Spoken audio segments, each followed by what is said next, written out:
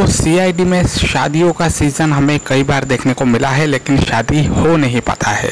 CID के season one में आपने दया और श्रेया मैम की शादी वाला एपिसोड तो ज़रूर देखा होगा, जहाँ पर श्रेया मैम की शादी किसी और के साथ होने वाली होती है, लेकिन अभिजीत और पूर्वी की मदद से ये शादी रुक जाती है, क्योंकि श्रेया जो है, वो भी दया सर से प्यार करते हैं, लेकिन कह नहीं पाते हैं, और दया सर जो है, वो भी श्रेया मैम से अपने प्यार का इजहार नहीं कर पाए थे सीज़न वन में।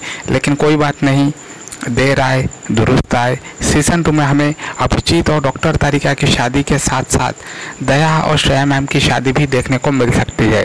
तो कौन से एपिसोड में हमें यह सीन देखने को मिल सकता है? कब तक हो सकती है?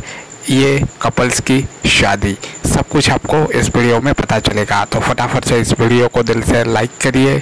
और अगर चैनल पर नए आए हैं तो प्लीज़ चैनल को सब्सक्राइब ज़रूर करिए।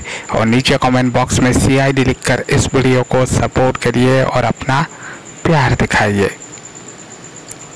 तो दोस्तों, दया और अभिजीत, इन दोनों की शादी तो बहुत ही जल्दी होगी, लेकिन कौन से एपिसोड में होगी? ये जो सवाल है, ये आप में से कई सारे भाइयों और बहनों के मन में है। तो अगर सब कुछ ठीक ठाक रहता है तो शायद हमें पचासवें एपिसोड के आसपास दया की शादी देखने को मिल सकती है, और उसके कुछ एपिसोड्स के बाद हमें अभिजीत की शादी देखने को मिल सकती है।